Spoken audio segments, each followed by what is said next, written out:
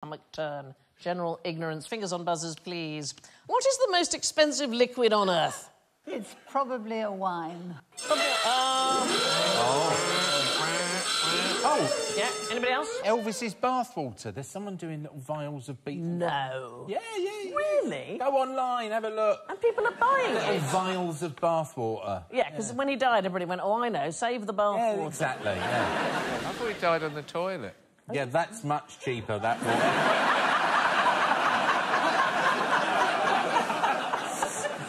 Uh, we think the answer is probably racehorse semen.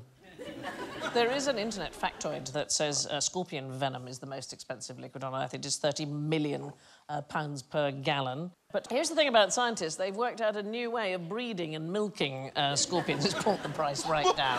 Oh, yes. Oh, they've ruined the market's craft. I know. You can now get a gallon of uh, scorpion venom for a mere £70,000. now, come on, Daisy, put your stinger in the milker. A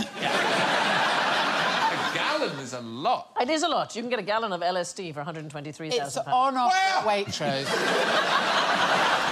Uh, Chanel number five, £20,000 per gallon. Printer ink, £2,000 per gallon. That's, that's, we're heading down the prices here. Shit, that is a racket, isn't That is a racket. But the most expensive liquid that we can find seems to be racehorse semen. So, for a mare to be serviced uh, by a famous thoroughbred called Galileo would cost the owner about £540,000.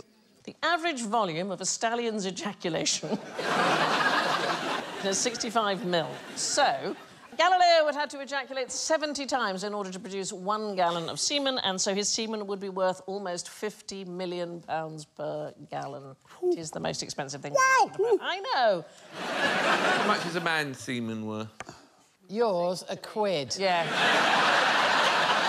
What, a gallon? in, a pa- in Poundland? Uh, horse semen is much more expensive than printer ink, but even if it was cheaper, it would probably cause some kind of paper jam.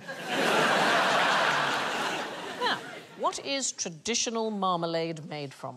Quinces? Oranges.